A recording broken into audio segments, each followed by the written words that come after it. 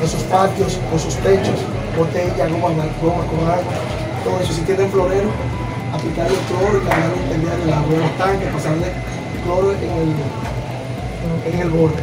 Con, con simplemente hacer eso disminuimos en más de un 90% que a usted le pueda dar dengue o a sus vecinos. Y le exhortamos que usted sea multiplicador de que eso ocurra, de que no haya nada. ¿Qué le parece? Gracias. Gracias, doctor.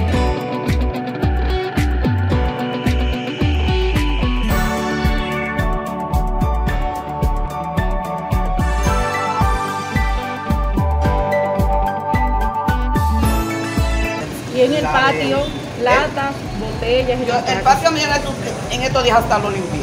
Ah, excelente. Yo, yo recojo todo lo que hasta las tapitas. ¿Tiene algún niño en la casa? Sí, aquí hay Tres. Usted sabe que los síntomas principales del dengue es fiebre, dolor en la vagina, a veces náusea o vómito. Entonces es muy importante que si usted nota que está haciendo calenturita el niño, lo lleven al médico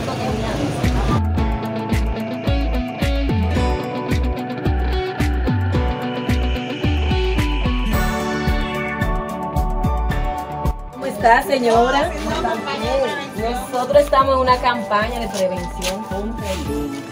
A darle unas cuantas informaciones de cómo debemos cuidar y cuidar los vecinos. Es, ustedes tienen tanques de, de agua, se le pone un poco de cloro por toda la orilla. Si tiene cualquier envase que vea con agua, usted lo bota. Porque pues, el mosquito se reproduce y nada más no usted le puede afectar, le puede afectar a todos los. Y nada,